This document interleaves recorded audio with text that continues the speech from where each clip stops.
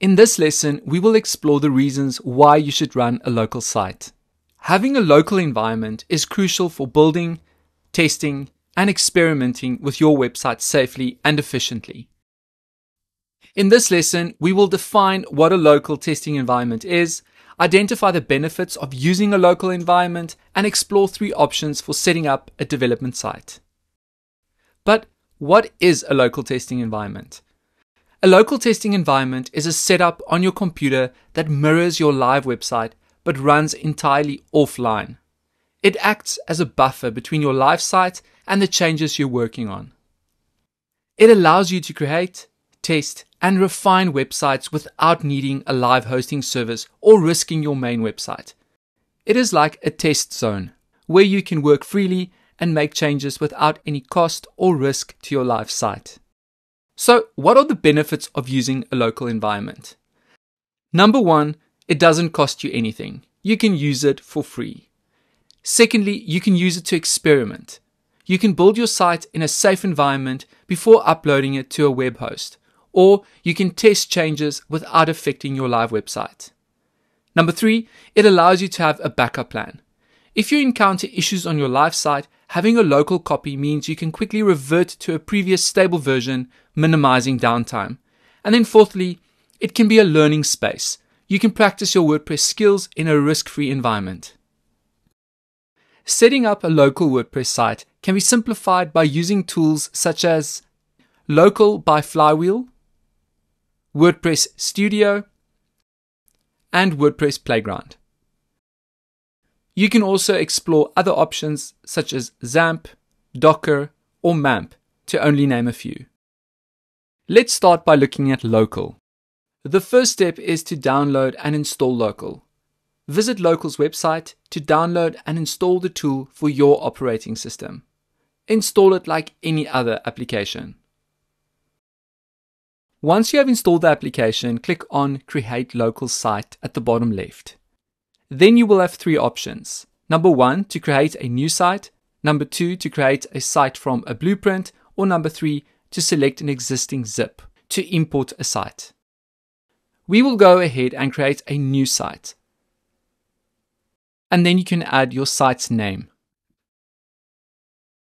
And then we can configure our environment. We can choose preferred and if you choose custom, you can select the relevant PHP version, web server, and database. For this example, we can select preferred and then continue. The last step is to select a username, password, and email. And then we can add our site. Once your site is ready, you can click on WP admin and start building, exploring, or testing. Remember, you can use a migration plugin to export this site onto a production site or to import a different site onto your test website.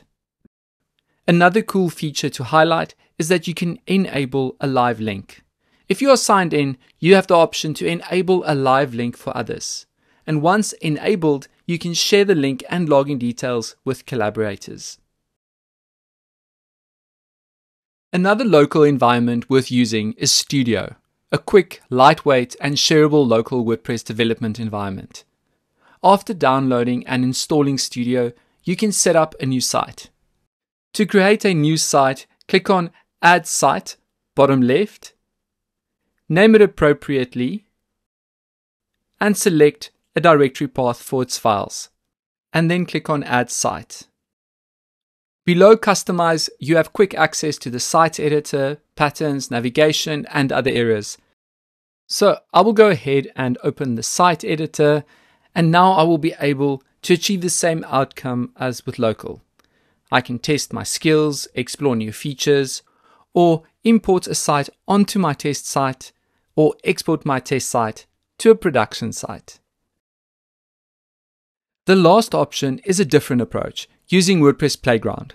WordPress Playground is a browser based tool that allows you to run WordPress directly in your web browser eliminating the need to install software. It is a platform that lets you run WordPress instantly on any device without a host. It creates temporary environments that are discarded after use. It's a place to build, experiment, and test. You can start using Playground instantly by navigating to playground.wordpress.net in your browser. Or you can customize your setup by using the query API in the URL by adding question mark networking equals yes after .net. And this will allow you to install and activate plugins and themes. You may decide to build your site from scratch and then when you select the hamburger menu, you can download the site as a zip and export it to your production site. Or if you want to import a site, click on Restore from Zip, which will allow you to replace the current WordPress Playground site with a previously exported one. You can also tweak the URL to automatically install specific plugins or themes to your site. To automatically install and activate a plugin, for example, you add question mark, plugin, equal sign, and then followed by the plugin slug. Let's go ahead and install the WooCommerce plugin. The plugin slug is the last part of the plugin's WordPress.org URL. So let's visit WooCommerce and double check that we've used the correct slug. Then we can return to Playground, and when we hit enter, the plugin will automatically install and activate. And now you can test and explore using the plugin. And to automatically install and activate a theme, we write question mark theme equal sign and then the slug of the theme, in this case 2023. And then it will be ready to use in a few seconds. You can also install multiple plugins and themes simultaneously by adding the and sign between the slugs. So in this example, you will notice I've added the 2023 theme as well as the WooCommerce plugin and the Contact Form 7 plugin. By default, changes made in Playground are temporary and will be lost once you close the tab.